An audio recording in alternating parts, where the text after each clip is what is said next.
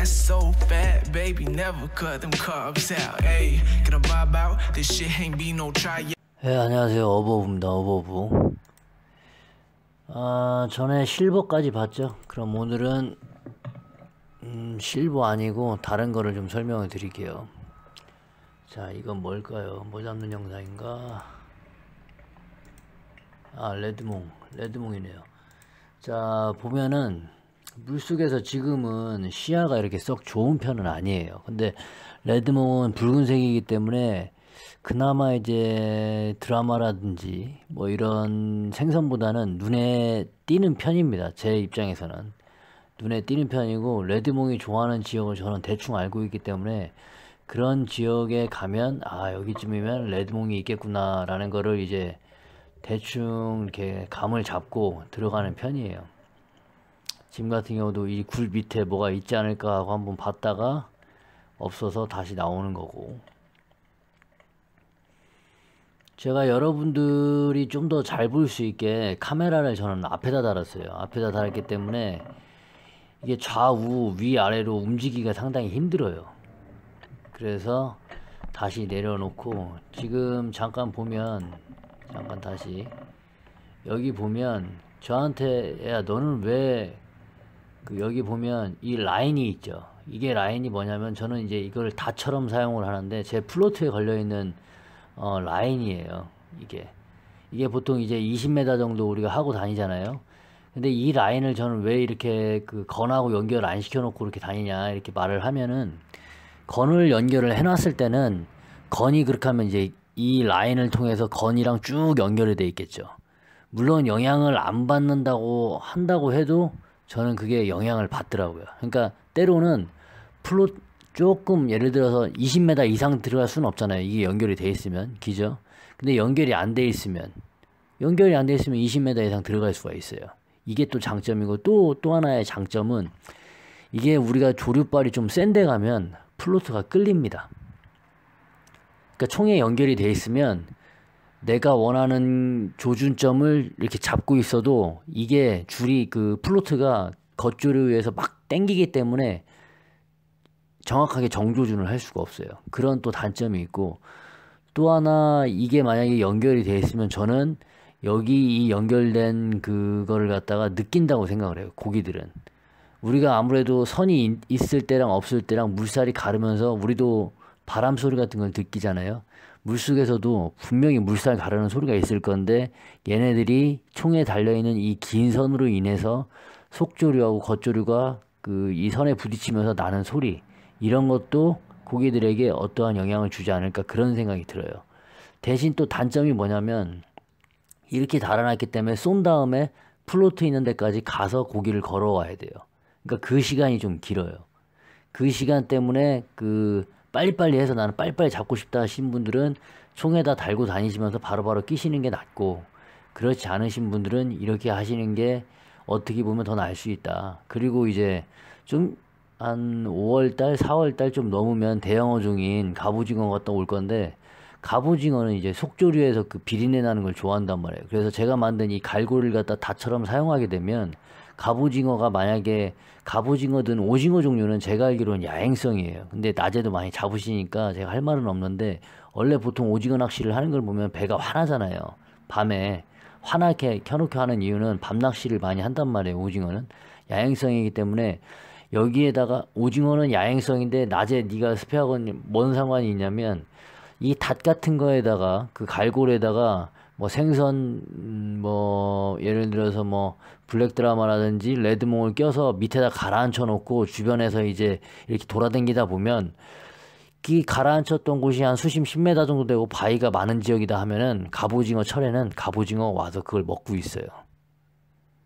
그런 경우가 엄청 많습니다. 그래서 저는 이거를 또 하나의 그 음, 뭐랄까 이제 벌리하는 역할로도 사용을 합니다. 물론 이걸 해놓고 어디 멀리 가면 안 되겠죠. 그 근처에서 우리가 보통 띄워놓은 다음에 그 근처에서 이렇게 배를 배를 만약에 띄워놓고 그 주변에서 이제 스페어 피싱을 하듯이 이것도 마찬가지입니다. 여기다 띄워놓고 저는 이제 주변에 뭐 드라마 굴치기를 한다든지 뭐 레드몽을 잡고 이렇게 돌아다니고 있으면 여기에 분명히 갑오징어가 여기 닷에 그러니까 이제 여기에다 걸어 놓는 거죠.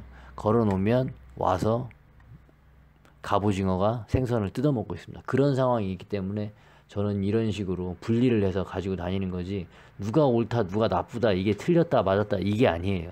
사람은 자기만의 그 스타일이 있는 거고 그 스타일에 맞춰서 하면 되는 거예요. 제가 여러분한테 지금 또 이게 설명이 길어지는데 낚시를 가르쳐 주든 스페어피싱을 제가 알려주든 여러분이 그걸 갖다 똑같이 따라할 수는 없습니다. 여러분에게 맞게 개조를 하고 변화를 시킨 다음에 아 이런 거는 좋은 거니까 이거는 따라하자. 아 요거는 나한테 잘 안 맞는 것 같으니까 요 부분은 요런 식으로 개조해서 쓰자. 이런 거를 추구해야지 나랑 똑같이 해야겠다. 이거는 아니에요.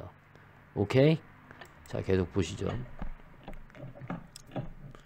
자 레드몽 발견했습니다. 발견했죠. 지금까지는 레드몽이 어 위험을 감지하는 순간이에요. 속도가 다르죠. 움직이는 속도가 순간적으로 확 치고 나가는 게 보이죠.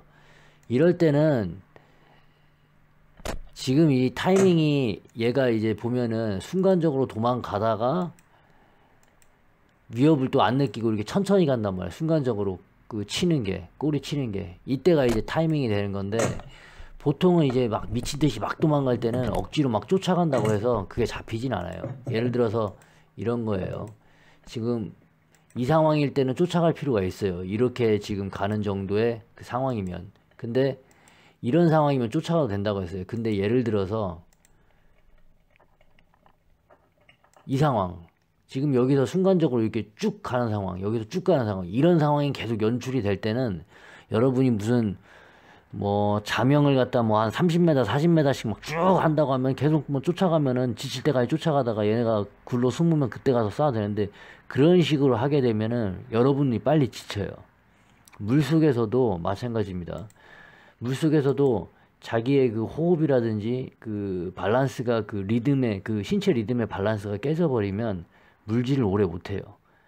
다리에 쥐가 난다든지 아니면 호흡이 가빠진다든지 아니면 머리가 띵 한다든지 뭐 여러 가지 반응으로 여러분의 그게 깨질 수가 있어요. 그러니까 이런 거는 좀 조심하시고 이런 상황일 때는 한 번 나갔다가 고기 지금 당장 안 쏴도 되거든요.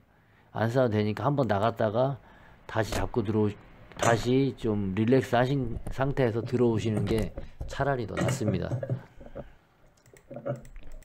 잡은 거 확인시켜 드리고 보면은 여기서도 여기 보면은 headshot 한 거. 헤드샷이죠? 요 아가미 안쪽이 headshot입니다. 그리고 두 번째 거 보여드릴게. 아 두 번째 건 뭐 잡는 거냐. 아두 번째 건 쥐치네요 그 쥐치가 때로는 이제 검은색이 그나마 좀 사이즈가 좀 큰 것 같고 쥐치도 제가 여기서 이렇게 주로 원래 잡는 어종은 쥐치가 아닙니다. 저는 이제 물속에 들어가면 레드몽을 위주로 많이 잡는데 쥐치가 이제 대상 어종은 아니지만 워낙 이날이 이제 쪼롱에서 왼쪽 포인트 간 날인데 배가 워낙 많았었어요. 아마 아실 거예요. 배가 워낙 많아서 뭐라도 잡아야 되는 상황이었었어요. 그렇기 때문에 사람들도 많고 많이 떠 있는 상황에서 뭐라도 잡자 해서 이걸 노린 겁니다. 근데 저는 쥐치가 역시 종류가 많은 건 알, 알고 있지만 요 종류는 또 제가 좀 신기해서 쐈습니다. 이게 첫 번째도 이걸 잡고 얘네들이 보면은 무늬가 이렇게 똑같잖아요. 얘네들이 쌍으로 다니는 것 같아요. 쌍으로 아까 한 놈 죽이고 요게 이제 두 번째 놈 앞에 있는 게 이제 구로파입니다. 요게 이런 거 쏘시면 안 돼요. 아시겠죠? 야 이거 큰 거 있는데 저거 쏴야지 하는데 이런 거 쏘면 큰일 납니다. 이렇게 쥐치 잡는 거 쥐치야 뭐 그렇게 움직임이 크게 없으니까 뭐 여러분들도 쉽게 잡을 거라 생각을 합니다. 쥐치는 이렇게 하고 지금 이게 세 번째 뭐 잡는 건지 모르겠는데 자 지금 이 소리 들리시죠? 다시 이게 피시콜입니다. 제가 만든 거. 아마 제 스페어건을 보신 분들은 아 뭐 잘 만들었다 뭐 이런 소리도 하지만 그 기능적인 면도 좀 따지실 필요가 있어요. 그런 부분에서는 이제 피시콜이 가장 단연 제가 만든 것 중에는 그나마 좀 가성비도 좋고 확실히 그 효과를 많이 봤다 이렇게 설명드릴 수가 있습니다. 그러니까 가끔 큰형님들도 그러고 야 넌 고기 거기가 보이지도 않는데 거기 가서 어떻게 잡았냐 이런 말을 하는데 그 시야가 안 좋을 때 한 10m 이상 들어가서 저렇게 계속 긁는 거예요. 소리를 내면서. 그러면서 생선을 유혹해서 밖으로 굴 밖으로 호기심을 유도해서 저기 끄잡아 내리는 거죠. 그렇게 하다 보면 이제 생선들이 나오는 겁니다. 지금도 이렇게 시야가 별로 좋지는 않아요. 여기 뭐 잡는 건지 모르겠는데 아 레드몽. 아 이거 이 생각나네요. 여기가 이제 레드몽 굴이에요. 벌써 지금 이제 레드몽을 위에서 발견하고 이제 내려가는 겁니다. 내려가는데 굴 쪽으로 직접 내려가진 않고 옆으로 해서 좀 거리를 두고 이제 내려갔어요. 그럼 지금 보면은 자, 이 굴에서 몇 마리가 나오냐 한 마리 일단 나가죠. 그리고 자 수덥 여기 지금 대가리 보일 겁니다. 요게 대가리인데 요걸 쌌어야 됐어요 이 상태에서. 너무 근데 저도 이제 그런 게 있어요. 그러니까 아 이게 여러분한테 좀 더 자세히 좀 더 뭐 정확하게 맞추기 위해서 좀 재는 게 있어요. 안 재고 그냥 빵빵 쐈어야 되는데 그런 지금 나갔어요 이렇게. 이렇게 해서 요거는 엄청 빠르죠. 요 짧은 시간에. 잘 보세요 요 짧은 시간에 벌써 여기로 튄 거야. 아차하는 순간에. 아차하는 순간에 도망갔죠. 예? 경계심을 느끼고. 벌써 이 굴에서 두 마리가 나가고. 아하, 어떡하지 하면서 화면은 여기를 가르치고 있지만 주위를 두리번 두리번 하는 겁니다, 지금. 더 있나, 굴속도 한번 더 찾아보고. 근데 굴속은 텅 비어 있더라고요. 그래서 옆을 보니까, 옆을 보니까 한 마리가 한 마리가 있더라고. 그래서 그거는 이제 다른 쪽으로 들어가길래 살짝 그거를 조준을 합니다. 그러다가 기회가 오는 거죠. 이런 식으로. 얘네들이 보면은 긴장을 풀고 있다는 게 느껴져요. 여러분도 한번 느껴보세요. 뭐지 하면서 한번 머뭇거리잖아. 그러니까 얘가 가고 싶으면은 그냥 이 방향대로 가야 되는데 궁금증을 하고 유발을 할 때는 대가리를 살짝 드는 게 있어요. 어? 이렇게 하면서 지금 이 행동, 이 행동 살짝 들잖아. 여기서 뭐지 하면서 이렇게 쳐다보잖아. 눈을 정확하게 여기를 쳐다본다고. 요때가 타이밍.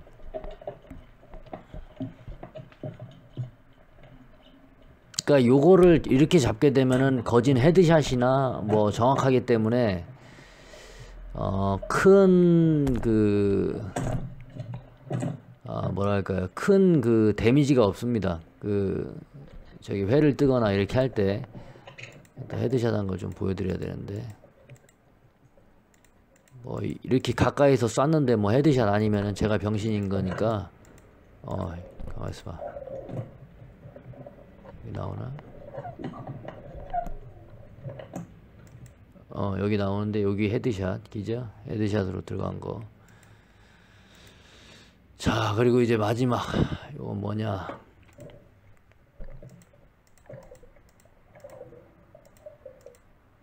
어 요것도 레드몽이네. 요것도 보면 요게 이제 재밌어요. 레드몽도 바위 그러니까 경계심을 느낀 상태에서는 밖으로 잘 돌아다니지는 않습니다. 그러면 레드몽이 좋아하는 지역을 캐치를 하신 다음에 아니면 꼬리라든지 이렇게 굴 속에 계속 박혀 있는 게 아니고 잠깐 잠깐 이렇게 돌아다니는 그거를 포착을 한 다음에 그 굴 속에다가 이것도 지금 보면은 상체를 밀어 넣는 거예요. 여기에다가 여기에다가 건을 집어 넣고 상체를 밀어 넣습니다. 그러니까 상체가 허리까지는 지금 여기에 박혀 있는 상태예요. 그리고 나서 레드몽을 보는 거예요. 여기 지금 있죠, 여기.